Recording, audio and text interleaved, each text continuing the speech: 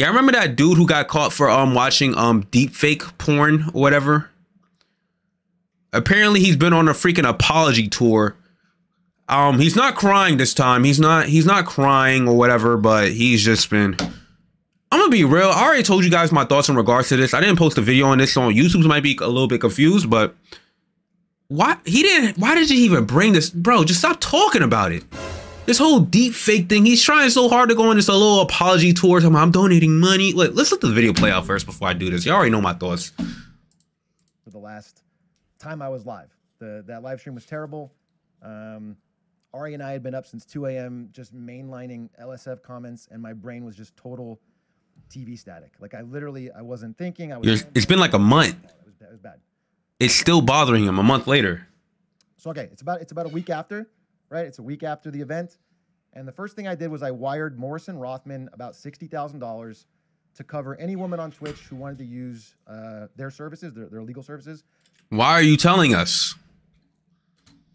Why why are you telling us this again, bro? The same way when you was jacking off to the freaking Pokimane deep fake porn, we didn't ask to receive that information. We didn't ask to receive this. If you want to do charitable work, fine, shut the fuck up and continue streaming. I'm serious, bro. Bro gonna lose followers because he's gonna lose followers because he keeps talking about it. No one wants to hear about this shit, bro. I'm sorry. Even Pokey, like I said, I respected Pokimane because she handled it like, you know I'm saying, a queen would handle it. She did one comment, call niggas weird, like what she usually does. It doesn't really talk about it that much again. She kept it moving. Like, all right, if I want, if it's that serious, I'm gonna handle it privately and just sue them. Easy. This dude on the hand, because he had a little fetish kick, he was curious and he was jacking off to it. He keeps bringing it back up. No one's really that butthurt about it. There's women butthurt, but I don't think they're butthurt up at you. They're butthurt at the people actually doing it. Downs reputation management. That's only step one, and that's just money. It's not that's not a huge deal, but I just want to just how, how it started. And that was because QT has worked with them for a very long time. She recommended them to all the women involved, and then told me. So uh, I just covered to make sure anyone who was using it, I think it's baseline. Anyone who's using it is not financially impacted. All right.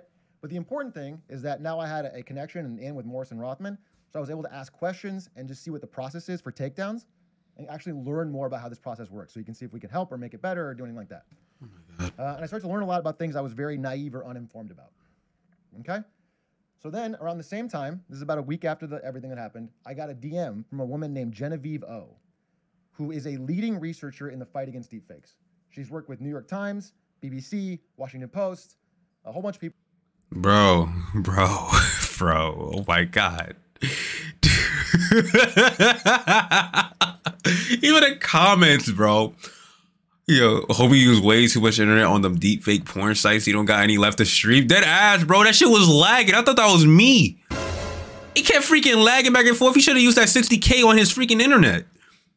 Dude on an apology tour laughed my ass off. He begging to be seen as a good guy buddy, you don't have to apologize for beating off. We don't care.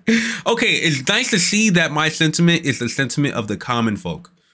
We really don't care. Like, honestly, why does bro keep bringing this up, bro? I only know him because of this. And I'm pretty sure his audience most likely is getting annoyed from hearing about this, bro. If you got caught up in the act, you apologize. You and your girlfriend was both crying, doing this little hissy fit. It wasn't that serious in the first place. Bro, it's whatever. You was jacking off if you want to apologize to somebody, apologize to your girlfriend. I don't care. I want to see both y'all apologize in public. We, we don't, the, the people don't care. Only people who honestly would care about stuff like this is the people who are actually being deep faked, which is the women on Twitch.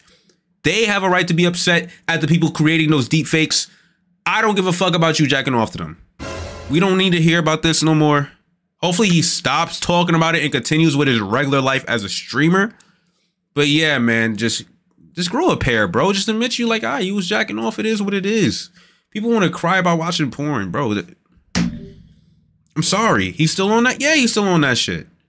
Oh man, there was another thing. Another thing. Apparently, somebody got drunk at the freaking streaming awards or whatever too. Twitch is having a whole. Twitch is going crazy or whatever. All right, I'm gonna pause it. Pause it. Pause it. Pause it. Shut up. Now you as a viewer going on and attacking her and commenting on things online that does not help anyone. Literally called out viewers for attacking JustaMinx after drama at the Streamer Awards. So apparently JustaMinx got drunk, had to be escorted out, and the after party of the streamer awards or whatever had to be canceled because it all had to be shut down because of it. And then all these content creators started making videos like, "Oh, we tried to help her. She's a drunk, and we tried to tell her, you know, she can't do this and do that." So what they decided to do in order to help her is to make it go public. All these famous streamers with millions of followers was like, you know what? Let's make this public. Let's tell the whole world about her being a drunk and her doing this, her puking, whatever. We had to shut down out the party because of her. Let's tell the whole world and let's see how that helps her out. And apparently they don't they are now realizing like, oh, there's gonna be negative backlash from their followers in regards to them literally outing her about her little situation. Like I understand if they think it's gonna help, I don't see how they think it's gonna help. What is telling the public gonna help somebody? What is telling the whole entire world someone's problem gonna help them with said problem, bro?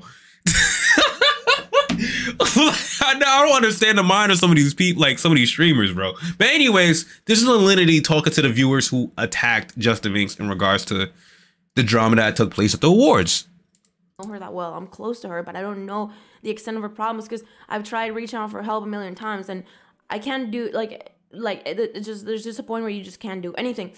What I'm trying to say is she's already someone who's in pain, and and if you want to tell her like, hey, I'm not gonna be in your life anymore until you get better that's a good thing you should do that you should tell an addict like hey i'm not gonna be in your life anymore until you get better that's a good thing. That's you establishing boundaries. Now you as a viewer going on and telling her and attacking her and like commenting on things. So her her pockets social stop the addiction i guess. Have her viewers say they're going to leave her alone until she quits.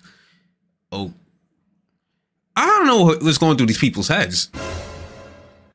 I'll say this. As a friend, if you're dealing with someone with addiction, you could do as much as you can with as a friend, but I clearly, honestly, don't see any way where going public about it and telling the whole world we had to shut down a party because of her is going to help her in this in the slightest way. Honestly, now she got you think all this embarrassment, all this backlash, everyone knowing her business is not going to make her want to go deeper into the freaking abyss and drink even more? It's a coping mechanism. Like, bro, it's a coping mechanism. Now she has an excuse. like I like I understand they're trying to look for ways to help her out, but this is not a way to help her out. And I'm not gonna freaking go and think like, oh, these streamers are so goodwill for trying to help out a friend. Shut the fuck. I don't give a bro. There's so many different ways they can find a way to help. If you want to help someone out, do it in private. I want to hear about this shit. And, ple- and in complete honesty, I think most of the people who normal people like we just don't really care like that, bro. Her personal viewers, um hurting her pockets in regards to this i don't know i don't know she's a grown woman hopefully she could find a way to help herself but that's the thing they gotta want to help themselves if they don't help themselves then what the hell us us as viewers are gonna do we're like the littlest of we have the most little power. You guys are real her life friends. I see her in person. You interact with her in person. As a viewer, you're gonna see, you're gonna be one of the million chatters in there typing, "Stop! Stop drinking! The fuck is that gonna do? We're gonna leave if you keep on drinking. There's one viewer out what a thousand, a million. How, how many viewers she got? I don't even know how big the streamer is. I don't see how that's supposed to play an effect. All you're gonna get is your freaking hate mail, trolls, and people that's on your ass because you ruined the party. That's about it. I, I don't know how this is supposed to help. Mind like that does not help anyone. That's all I'm trying to say. Like Then what does? I just worry about her and I don't want her to. I don't freaking know what. Like I said, and plus I view a lot of these people who are at these stream things are fake as hell too. Like like I said. Hmm.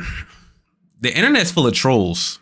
If I get my business put on a front street, I'm expecting niggas to be hating on me like right away. That's the first reaction. How you guys are so known, so big on a platform, and y'all didn't expect haters to come her way when you guys outed her about her addiction. You think we're all just mature and nice? There's a lot of kids on Twitch. They're going to make fun of her. Yes. like I'm trying to figure out what is the big surprise here. So I'm trying. I, I, don't know, bro. I don't know anymore. Some of these people just add, to be honest, bro. Like for instance, if my family member's going through something, why would I go to chat and tell y'all like, oh, this and that, or reveal it to everyone else who have nothing to do with the situation? Chat is not going to cure her. Chat is not going to help her with her addiction in regards to that. Her personal friends and family could make an effect, but the main one who's going to make a change in her life to stop an addiction is her. It's her. That's it. They dissed Kai at the event. They mentioned he got a freaking hand job. I don't care, bro. What the? I don't give a f- bro. He got more money than all these chicks. They don't matter to me. That's about it.